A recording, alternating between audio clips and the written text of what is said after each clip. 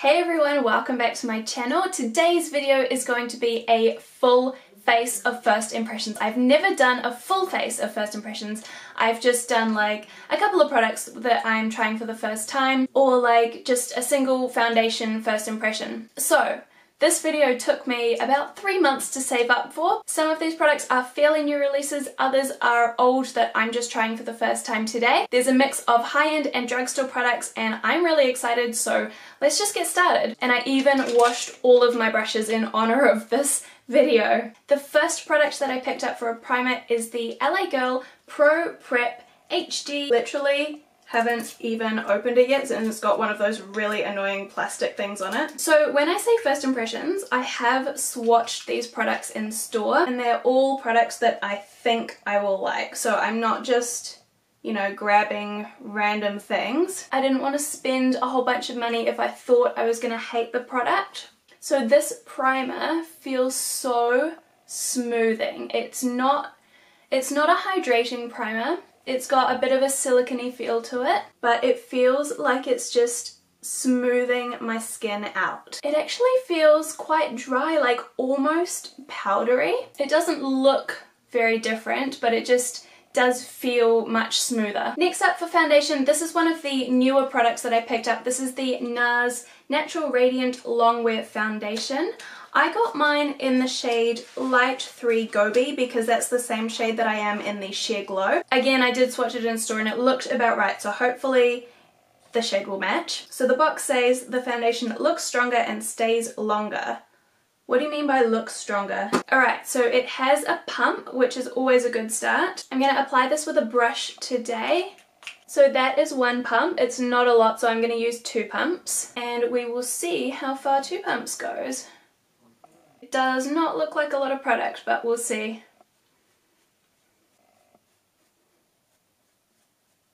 Okay, wow, so it does actually have pretty good coverage. Even though it didn't look like I was using a lot of product, it is still definitely enough to cover my whole face. I'm really happy with how the shade matches me actually. It was a good decision. It's definitely not set, like it's still, oh, it's actually, it's transferring onto my fingers. So it's definitely not one that sits on its own. Yeah, I would say that looks radiant. It looks really, really even on my skin actually. It's not emphasizing any pores or lines or texture or anything. It really has just made my skin look quite flawless. And I don't know if you guys saw, but I do actually have a bit of scarring from a pimple just on my chin at the moment, and I don't think you can see that anymore. For concealer, I picked up the Maybelline Master Conceal. This is not a new product.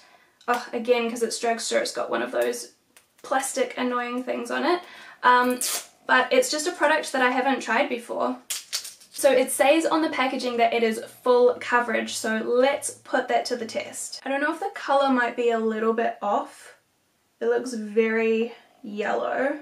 I'm not totally sold on the colour of it. It looks maybe a little bit too dark for me.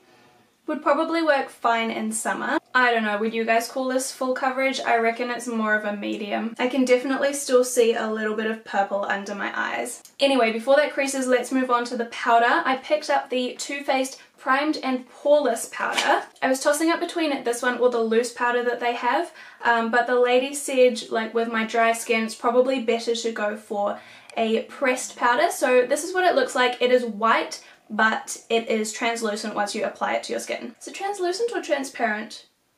I can never remember which one's which. Anyway, it's one of those that won't look white once it's on. So this does also come with a little puff underneath, but I'm not going to use that today. I'm just going to apply it with a brush. I have been struggling with my under eyes looking quite dry recently, so hopefully this one will be a good product that won't do that. My under eyes definitely don't look as dry as they have been looking for the past couple of months and my foundation is still transferring so I'm not quite sure what to do about that. Maybe my setting spray at the end will fix that. For brows I picked up the Mellow Brow Definer Pencil. I got this in the shade Auburn which sounds like it would be a really warm shade but it really looked like it was the right shade for me in store. So this comes with a little spoolie on one side and then the brow definer on the other side. So as you can hopefully see, it's like a little triangle shape, which I'm pretty sure is the same as the hourglass one. I really need to get my eyebrows sorted. There's like a gap in this one, which didn't used to be there.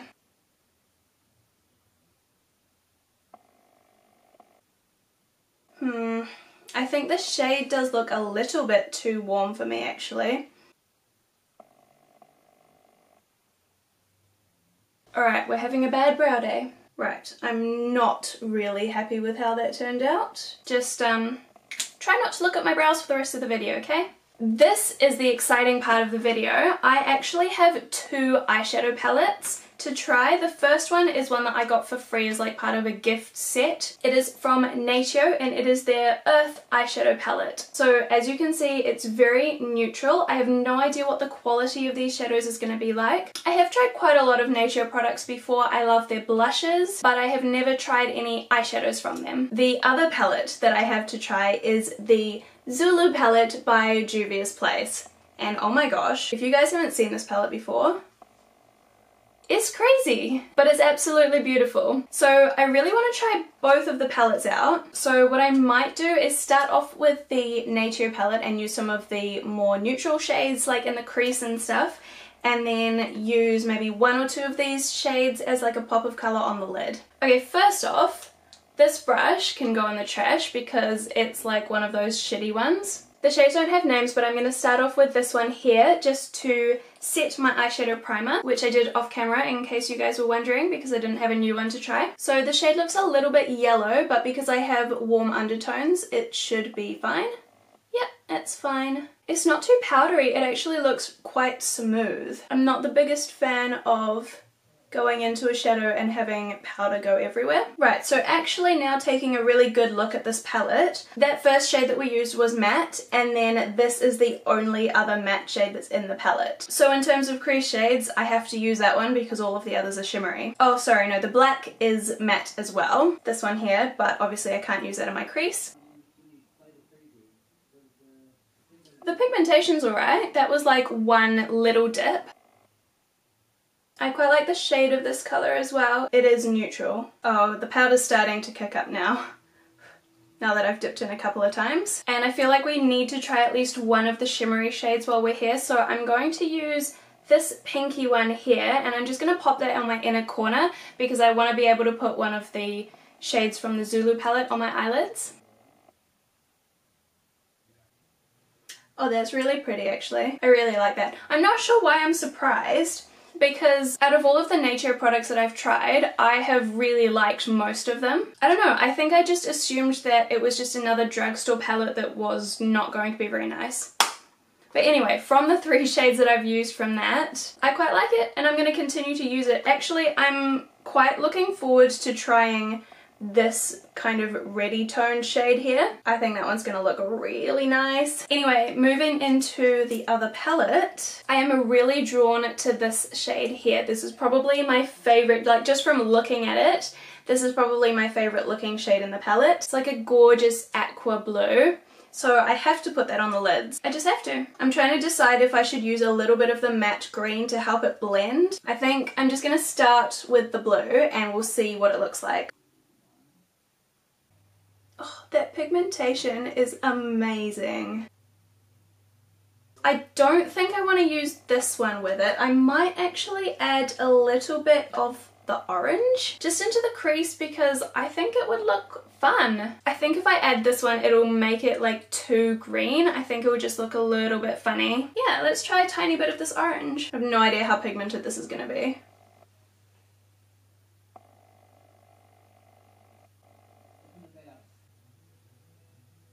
Um, okay, that turned into a little bit of a mess. Right, practice makes perfect. Let's try again on the other side.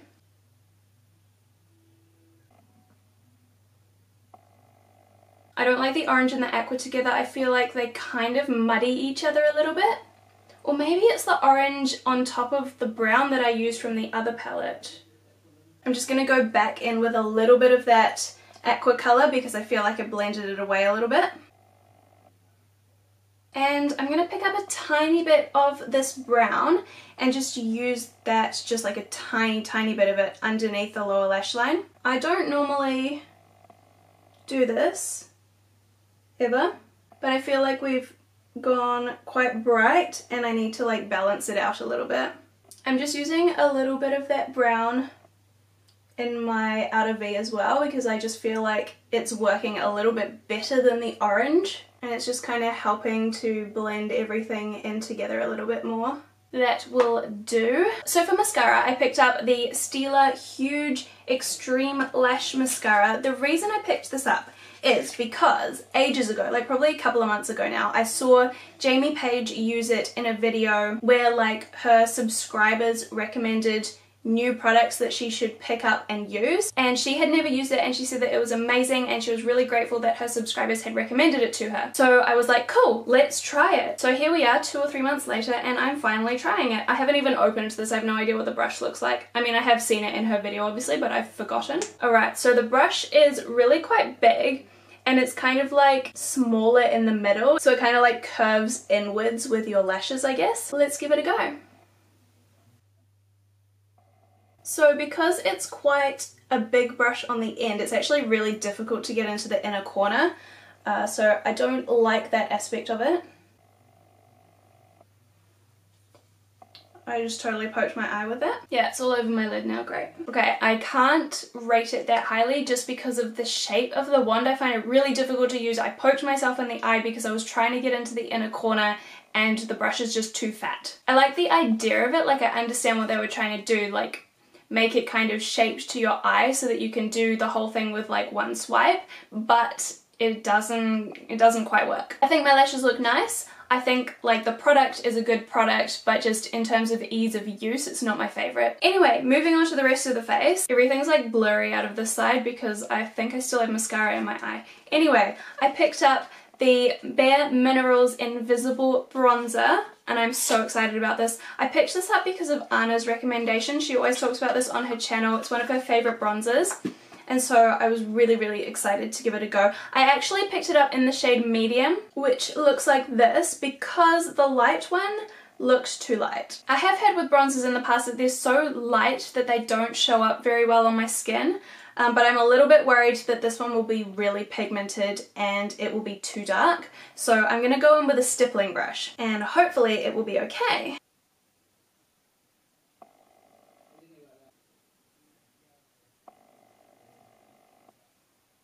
I definitely think with a stippling brush it's not too much. I really like that. I don't know if you'll be able to see them, but there are like really tiny, tiny golden flecks in here, but they're not showing up on the face at all. It doesn't look shimmery once you put it on. I wouldn't use it to contour, but if you're one of those people that doesn't like a shimmery bronzer, you can't see it once it's on. Right, next up for blush, I picked up a product that I have had my eye on for the longest time, like probably over a year. It's one of the Clinique Cheek Pop Blush Pops. So I got mine in the shade Peach Pop because Peach blushes are my favourite like colour of blush to wear but I actually don't have very many of them. I have like three or four and then all of my other blushes are like pink. So it made sense that I should buy more peach blushes, right? So I picked this up because I just have heard Shannon rave about these blushes on and on and on over the last year or two. So I really, really wanted to give it a go. And like I said, I'd been thinking about it for a very long time. I don't think they are overly pigmented. It's not one that you have to be too worried about. Oh, that's really pretty. I really, really, really like that blush. Okay, if I'm completely honest, this next product is probably the one that I'm the most excited for out of everything except possibly the Zulu palette. Um, this is also from Bare Minerals. This is the Invisible Glow. So it's from the same range as the bronzer, but this one is the highlighter. And this one I did get for fair to light skin because obviously if I get a highlight that's too dark, it's going to be really obvious. This is what it looks like.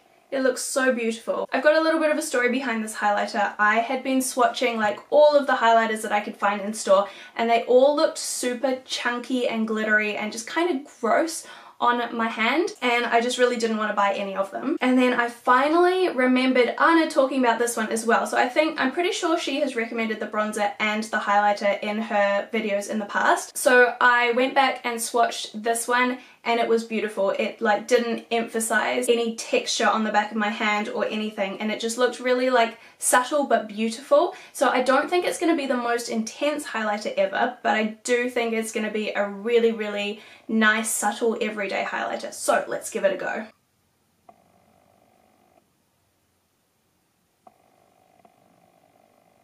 Oh, I love it. I actually love it. I have fallen in love. It's beautiful. I hope you can see it on camera.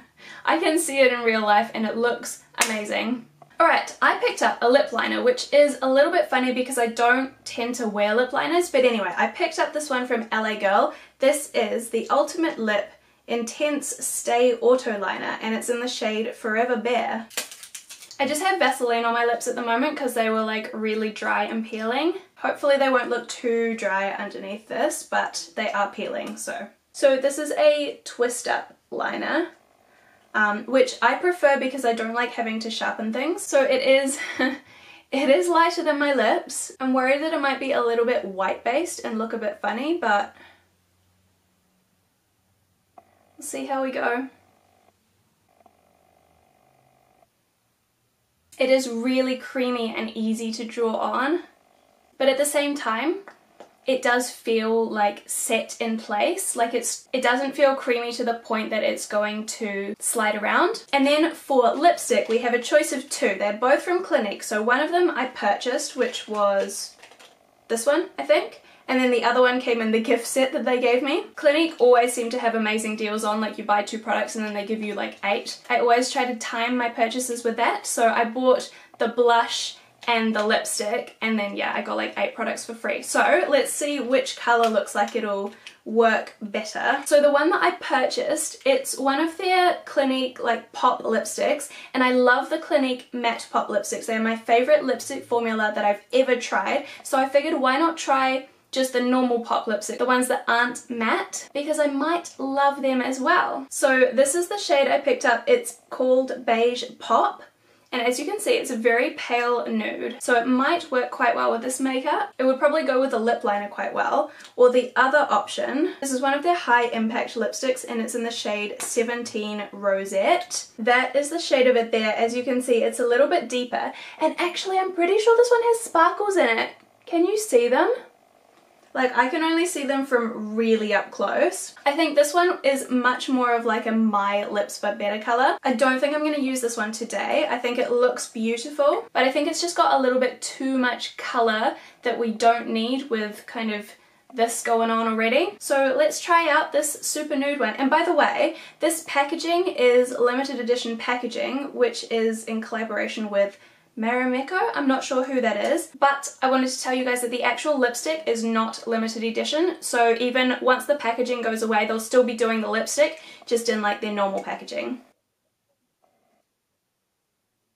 So it's quite a similar shade actually to the lip liner that I have on underneath, so it doesn't look much different. Just looks a little bit creamier. The lip liner felt matte like when I rubbed my lips together whereas now with the lipstick on top it does feel creamy. The way the lady described this to me in store she said that it's like a demi matte so it's not shiny it's not like a satin finish but at the same time it's also not completely matte. So it's going to be really comfortable to wear and it's going to feel creamy but hopefully it does set down just like a little bit. Anyway guys we are almost done. The very very last product that I have to test out today is a setting spray. This one is from Mario Badescu. It is the facial spray with aloe, cucumber and green tea. And it says that it is hydrating and it also says not to spray it into your eyes. So let's be a little bit careful. Not sure if you need to shake these.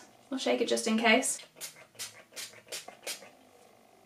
Oh, that smells really, really, really nice. So this is only the second setting spray that I've ever tried. Actually, the other one that I have is the Maybelline Master Fix setting spray.